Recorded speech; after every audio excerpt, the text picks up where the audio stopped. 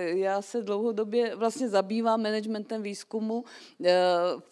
Trošku mě vždycky ne, ne, netěší funkce bývalé, protože si pořád myslím, že nejsem bývalá.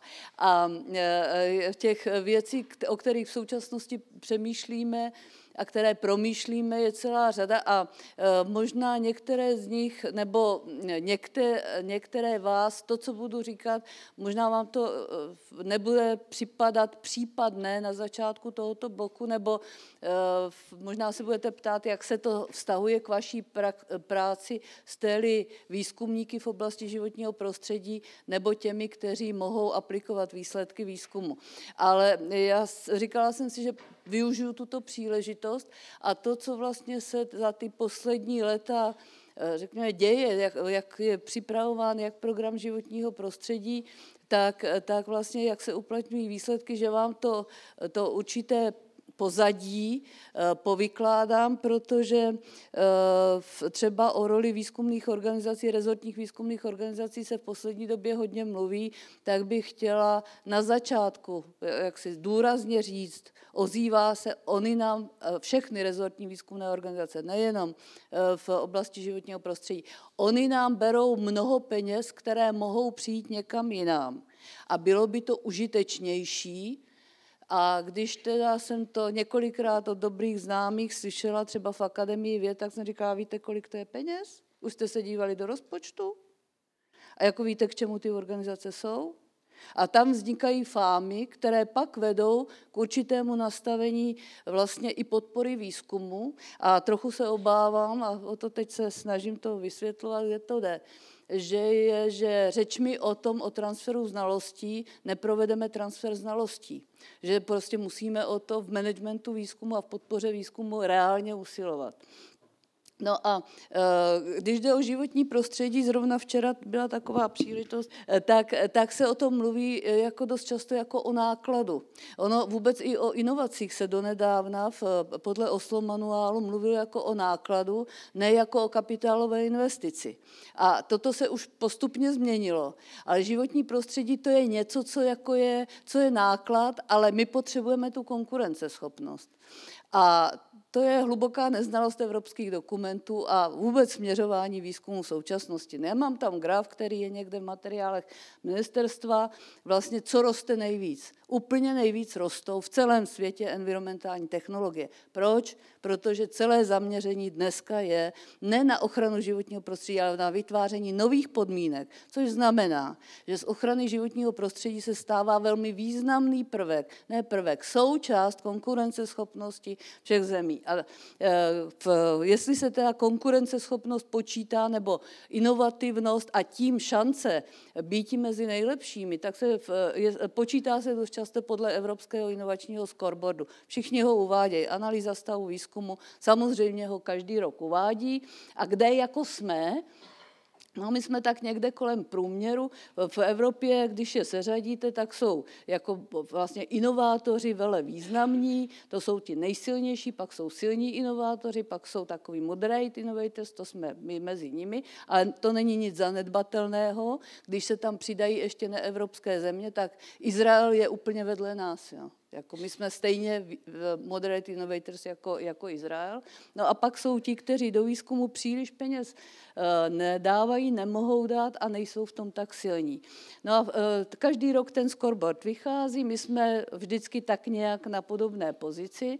A co je na tom eh, scoreboardu významné, je vlastně z čeho jsou složeny indikátory, nebo jaké jsou indikátory, které se pak pro to celkové hodnocení používají. Nebudu to dlouho rozebírat, to by bylo na samostatné, samostatnou přednášku, ale asi tři roky dozadu, teď jsem to rychle nedohledala, tak se podívejte, eh, vlastně oni se restrukturalizovali ty indikátory, protože eh, vlastně konkurenceschopnost je chápaná, nebo a inovativnost je chápaná trošku jinak, než byla v minulých letech. No protože je to inovativní a protože je to konkurenceschopnost. Svět se mění, tak s ním se mění i to, jak se to eh, měří. A přibyly tadyhle indikátory environmentální uh, udržitelnosti. Ty tam nebyly. Ten indikátor už jako se dělá leta, leta ale vlastně asi před těmi třemi lety právě v souvislosti s Green Dealem a tom, to, tím nastavením chceme dosáhnout klimatickou neutralitu, to znamená jako přelomové inovace a zároveň neohrožování životního prostředí, tak vlastně tadyhle vznikly ty tři eh, indikátory, které se podle všeho budou dál rozšiřovat, protože vlastně čím dál víc je potřeba popsat eh, tuto oblast jako jednu z částí konkurenceschopnosti a vytváření prostředí pro konkurenceschopnost jednotlivých zemí. Takže zatím je tam produktivita zdrojů, eh, v znečišťující látky 2 PM, 2,5 v průmyslu, a e, v, v, e, právě rozvoj environmentálně, e, environmentálních technologií. Když byste se podívali do toho scoreboardu 22, tak už jsou, ještě jsou jiné, protože to jsou věci, které jsou v současné době prostě ve vývoji a to pomě, poměrně hodně intenzivní. A potom, když se srovnávají v těch jednotlivých oblastech v země ty silní inovátoři a méně silní, tak se podívejte vlastně, že ti opravdu silní inovátoři eh, jsou eh, silní rovněž v environmental sustainability. Tam ty nejsou slabí. Že jo? Tady není jako nějaký gap, jako tady se na to vykašlete, hlavně, že tady jste dobrý, že máte hodně výzkumníků a, a že, že máte uh, vlastně hodně peněz ve výzkumu. Tady tohle to jsou veli, kdo, čím je kdo lepší, tak musí být lepší také v těchto indikátorech. Čili ta první zpráva pro program životního prostředí je, jako jestli si myslíte, že je to náklad a to je něco pro nějakou veřejnou zprávu nebo něco takového, tak odpověď je ne, je to součást konkurenceschopnosti a pokud jste to nepochopili, no tak máte smůlu, to bude blbý. Jako, jo. Tak, jako, tak dobře dávejte jenom do dílčích technologií a uvidíte, proč pořád jako nejsme mezi, mezi mezi, řekněme, nejlepšími. No a takto vlastně na základě tohoto je, takto je konstruována, myšlenkou je konstruováno i to, jak vznikal jak koncepce výzkumu ministerská, tak, eh, tak eh, eh, pak program životního prostředí, a uh, myslím, že včera Kamila Vávrová o tom programu mluvila, no a uh, takže to, to, co je tam tematicky, nebudu opakovat, ale považuji v současné době ten program, podprogram 3, environmentální klimatické výzvy, za, za zásadně důležitý ve chvíli, kdy se my jako Česko neumíme, ti, kteří řídí výzkum, řeknu, podporu výzkumu, tak eh, neumíme dohodnout vlastně, nebo neumíme dát tomu dostatečný koncept role jednotlivých, jednotlivých eh, organizací v, v celém tom výzkumu. Mluví se o transferu, přitom a, a, a o nákladu. Ale přitom vlastně my potřebujeme to, aby ten, kdo v výzkum iniciuje občas a zároveň ho využívá tak, aby měl dostatečnou odbornou podporu. A najednou ty rezortní organizace mají tři role. Jo. A no, já bych měla skončit, ale já vám to chci teda doříct. Ještě mám chvíli. Dobrý. Dobře. Jasně. Uh, jestli, totiž o to, že, uh, že je ve chvíli, kdy se mluví o rezortním výzkumu, tak je taková představa, ta je od roku 2007, že vlastně potřebují, uh, že rezorty si řeknou, to znamená nejlépe úředníci si řeknou, co potřebují a vědci vykoumají. No to je možné jen částečně, protože pak vlastně vědci koumají ve věcech, které teprve, a to je to, je to v podstatě rozhodující, teprve přijdou k těm úředníkům, že vlastně nové poznatky vás povedou k nové regulaci. A teď je otázka, jak zařídíte, že vlastně to, co je předtím, co vlastně dává to avízo, asi bude potřeba regulace, se spojí s tím, no a když tu regulaci zavedeme, jak to provedeme? A tam já vidím rozhodující roli rezortních organizací. Protože jestli má to ministerstvo dobře fungovat, a můj poslední velký Včera jsem to zase zkoušela večer na všechny významný. My jsme byli společně na večeru Thatcher tak je eh, kompetenční zákon. My máme absolutně strašný kompetenční zákon z roku 69, ten říká, co dělá které ministerstvo. No a že nám to nefunguje, tak všichni si myslí, že to spraví něčím, přitom potřebujeme právě ten nový kompetenčák, kde se řekne, že například vznikne ministerstvo pro energetiku a klima, že vznikne ministerstvo hospodářství, že jich nebude 16 a ještě další organizace, ale že jich bude 9 nebo 10. A to, jako, to, to, to, to jde domyslet a to jde udělat a pak budeme mít efektivní státní zprávu zprávu. A, a, musíme si říct, jako, o čeho ta ministerstva jsou. Ministerstva jsou hlavně o čtyř rolí, to se odvolám na tu dobu, kdy jsme společně na životním prostředí vymýšleli, jak by měl fungovat výzkum, odborná základna rezortu a rezort. Protože ministerstvo má jenom čtyři role. To není, pan minister není velký donátor, který jezdí po, eh, který, kterýkoliv minister který jezdí po regionech a vykládá, co jim nadělí peněz. Jako, to není role ministra ani ministerstva. E, role ministerstva je, aby vytvářelo a realizovalo strategie, aby tvořilo legislativu a realizovalo, eh, pak eh, aby fungovalo v mezinárodních vztazích a aby vlastně dělalo ten poslední stupeň státní zprávy. To jsou čtyři základní role ministerstva. A jestli tohle má to ministerstvo dobře dělat, tak musí mít know-how, a to neudělají úředníci, protože prostě oni mají neustálou operativu. K tomu musí mít odbornou podporu rozsáhlou. A ta rozsáhlá odborná podpora nikdy nemůže být, být nespojena s výzkumem, protože svět běží dopředu.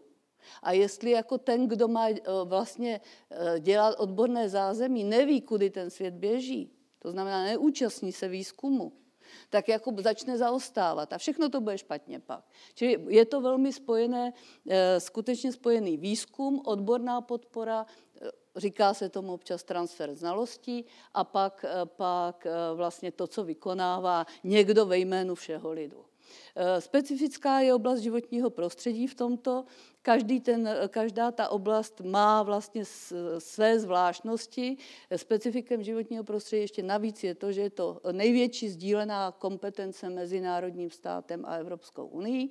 Eh, jestli starší si vzpomenou, že v přístupová dohoda v životním prostředí byla takhle tlustá, všechny ostatní byly takhle, ještě ochrana spotřebitele byla relativně tlustá. Protože tam je nejvíc vlastně souvislostí a ve chvíli, kdy se tam pracuje zejména ve veřejném zájmu.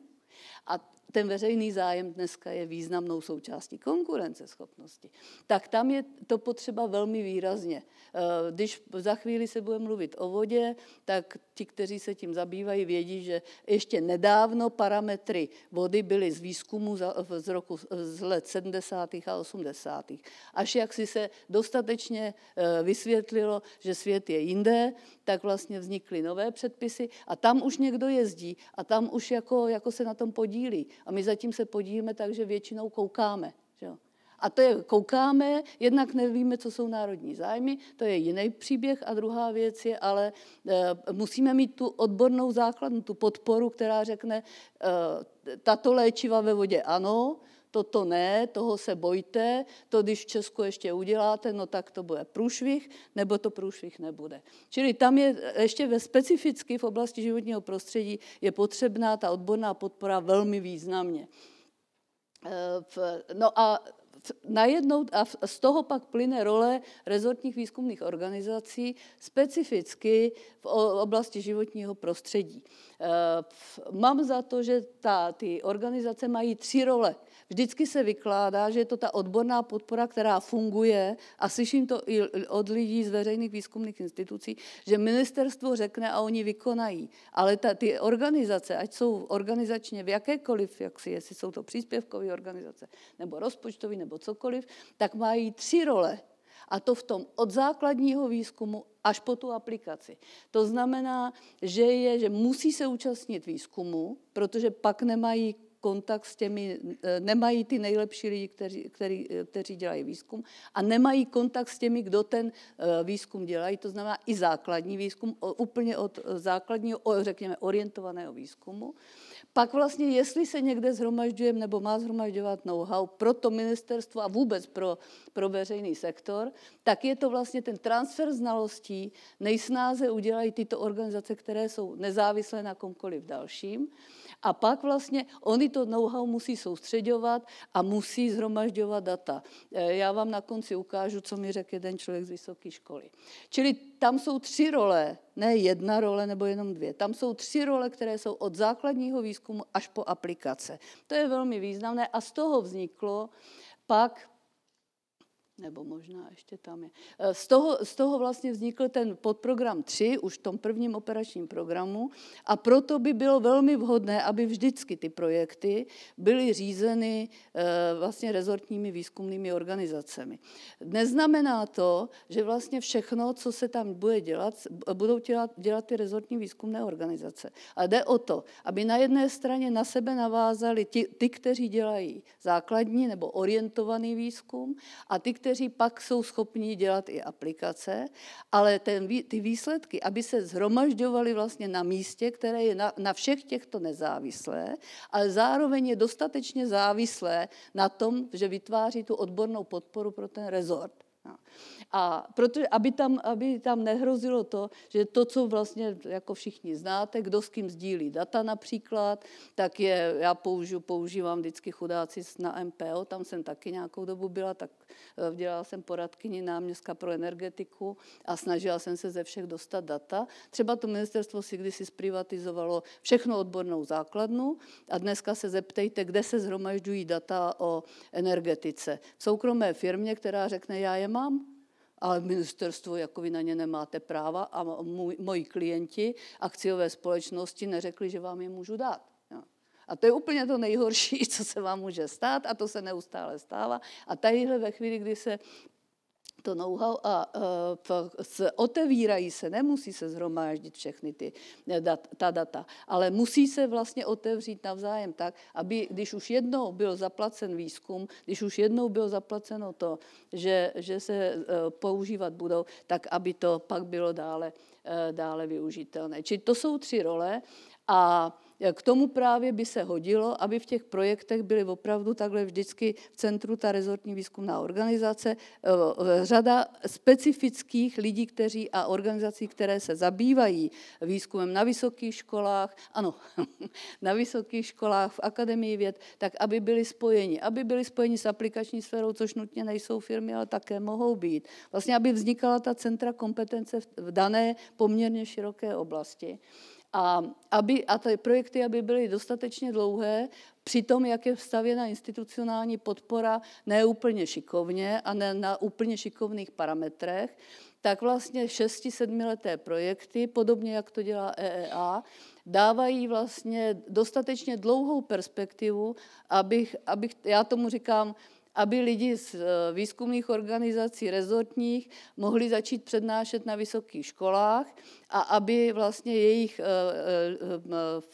eh, studenti mohli chodit vlastně do těchto výzkumných organizací, tam dělat magisterské práce, všechny drobnější práce, aby tam mohli udělat doktorát, protože za tu dobu vlastně konec magistra a doktora, který bude placen tak, aby mohl dělat jenom svoji práci, tak, eh, tak vlastně ho, jak, jak si, je ten čas dostatečný a máte mít na to peníze. A ve chvíli, kdy tak je, tak se, si vyrábíte vlastně i další generaci, která v tom daném oboru může pracovat. Takže v tom vidím, jak si tu, ty zásadní role rezortních organizací a organizace podporu, podpory výzkumu eh, v oblasti životního prostředí. No a jak si ve chvíli, kdy jsme to různě namýšleli s kolegyněmi, s kolegy na ministerstvu jinde, tak se právě to bylo, my jsme se před chvíli bavili o jeho České univerzitě, zrovna jsem tam v nějaký radě, tak jsem tam, tak jsem tam byla a eh, jak se začalo mluvit o otevřených datech, tak se tam nějaký eh, pán, výzkumník se tam jako přitočí a říká, a co vy si o tom myslíte, protože já zase ještě mám další tuhle, že prosazuju otevřený data. A jako, eh, co vy si o tom myslíte? No oni se snad všichni zbláznili. Oni by chtěli, abych dělal výzkum, pak jako, abych to jako, eh, v, jako udržoval, abych to dal nejlíp na web, abych ty časový řady, který tam mám, abych je udržoval, prachy mi na to nedají, abych to dělal zadarmo a tím pomáhal konkurenci, protože ona to veme a vlastně udělá si na tom nové výsledky. To není moje role. Moje role je jak tam vidíte, eh, zpracovat data, naměřit, zpracovat data, získat poznatky, opublikovat a zapomenout. Ano, je to správně. To je role výzkumníka jinde mimo rezortní výzkumnou organizaci. A jestli stát má mít potom nějakou opravdu adekvátní podporu, máme chránit životní prostředí a zároveň, já tomu říkám, nepřijímat řešení například i v ochraně životního prostředí, které jsou vhodné pro mnichovskou aglomeraci, nikoliv pro území, kde je 6254 malých obcí, 5800 po 3000 obyvatel a nikdo s tím nepracuje, jakoby, nebo pracuje se s tím hrozně málo, tak prostě to potřebujeme organizovat jinak. A v současné době rozumná cesta, jak to jinak organizovat, je prostřednictvím programu Pro život, eh, pod programu 3, kde je v těch výzev v oblasti životního prostředí je tolik, že vlastně pokud je máme alespoň částečně naplnit, tak teda musíme konat jaksi velmi, velmi racionálně. A neříkat si, že životní prostředí je náklad. Životní prostředí je to, co nám vytváří vlastně prostředí pro život, to je první věc. A druhá věc je, je to vele významný eh, faktor konkurenceschopnosti České republiky. Děkuji. Já moc děkuji za eh, podnětnou přednášku, která mi absolutně mluví z duše. Já bych tady určitě měl celou řadu postřehů, přesně jak říkáš, co člověk, když do toho chvilku nahlídne pod kapotu, tak vidí, jak ty kolečka se točí úplně divně. Ale máme tady uh, systém Mentimeter, já jsem ho zapomněl zinzerovat, protože jsme ho používali i včera, kdy vlastně audience může klást dotazy. Takže uh, máme tady čtyři. První je, kde vnímáte, že právě takto nastavený systém pokulhává? Jde o podporu, management a podobně. Ono je to hodně komplexní otázka. První je eh, jako samozřejmě metodika hodnocení, jak se hodnotí, zase tam je rozdíl, co je v metodice psáno a jak se hodnotí. A druhá věc je, a to je moje velká bolest a zatím se mi nepovedlo opravdu to, eh, jak si řeknu, prosadit nebo dostatečně, dostatečně vlastně přivést ty, ty, kteří rozhodují o penězích na, na, na tuto, na, na to, tu myšlenku, a není jenom moje, že opravdu všechny ty, ty uh, součásti výzkumu mají svůj velký význam, ale ke všem se má jaksi přistupovat jednotně, co do podpory, ve, jako ne kdo přijde a kdo je větší lobista, to je první věc. A druhá věc je, že vím, uh, jak, kterou součást vlastně té výzkumné sféry, k čemu potřebuju. Tam si myslím, nedostatek vlastně koncepce, představy, jak to chci udělat, umím deklarovat cíle, ale vlastně jak to udělám, to si myslím, že je docela základní, pro, zásadní pro to, no, jak děku, to teď funguje. Děkuju, já úplně souhlasím, že nedostatek třeba vizí, jako v některých věcech, to je, to je zoufalý. Tak, jak v kontextu vaší přednášky o roli a potřebě rezortních organizací vnímáte stávající úsporovou restrukturalizaci rezortu životního prostředí? Nezastaví se rezortní výzkum? Já bych jenom upozornil, že ministerstvo se v letošním roce zbavuje asi 100 nebo 110 lidí ve výzkumných nebo v rezortních organizacích a nabírá 30 úředníků v, eh, jak si, eh, asi mi nepřísluší úplně hodnotit, jak to, jak to současné vedení dělá, ale jako bylo nás řada, kteří jsme vysvětlovali, že, že namyšlený systém už od kdo ví kdy, kdy je jeden eh, svodník, a, který dělá ty horizontální vazby, což je ceny a, a jednotlivé rezortní organizace, které dnes dobře pokrývají vlastně to, co, to, co jakoby základ pro rezort potřebujeme, kromě chemických látek, a to je ošetřeno jinde, takže takto to má fungovat. Takže jako není to úplně, no není to úplně, e, e, abych to řekla definitivně, prostě myslím si, že je to špatně tak. Uh.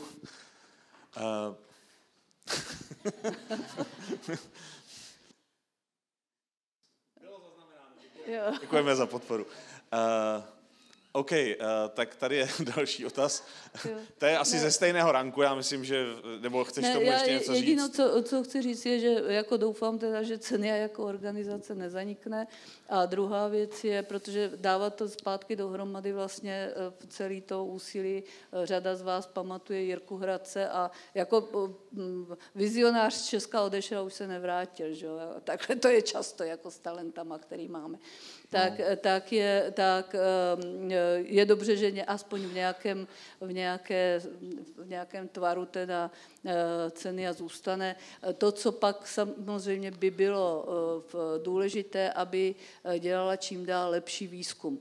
V té osekané podobě je otázka, jak to bude, ale teď je to v podstatě o zachování vůbec organizace. Si, tak jako hmm nějakém stavu. No. No, vzhledem k tomu, že výzkum by měl být od příštího roku jako nepodporován, jinými slovy, měli by dojet z projekty a neměli bychom dostávat podporu. Ne, tam je, tam je důležité, jako jedna věc je institucionální podpora, druhá věc je, aby vlastně opravdu byl výzkum jak součástí hmm. činnosti ceny a obecně, Ale... protože to dává jako zase řadu dalších možností. Jasně, no. Pokud jde o ISFOR, nechci mu ani dělat reklamu, ani my nejsme žádná výrazná organizace, jsme vlastně, my jsme kdysi vytvořili nějaký koncept řešení pro středočeský kraj, jako Smart City v, té, v, v regionu, kde je 1200 malých obcí, jo, některý 50 lidí. A vlastně jak to má fungovat, když nechcete, aby se vám všichni přistěhovali do Prahy. A to je, v podstatě je to takový udržitelný rozvoj eh, v 21. století. No a ve chvíli, kdy vlastně taky se tam poměry úplně jako nepovedly, tak jsme někde to know-how chtěli uchovat a vznikla teda ta organizace ISFOR a zabýváme se eh, zejména regionálním rozvojem a v současné době právě aktualizujeme eh, implementační plán koncepce Smart City, který není o Smart City jako technických, technologických řešeních ve velkých městech, což je často takto chápáno, ale je to vlastně o tom, jak lidé mohou žít na kterémkoliv místě, protože technické, technologické možnosti jim to dnes umožňují, akorát musíte právě přenastavit řadu věcí, které které jsou zatím zvykem. A ty velké světové trendy jsou úplně jasné, ale zase je trošku musíte znát,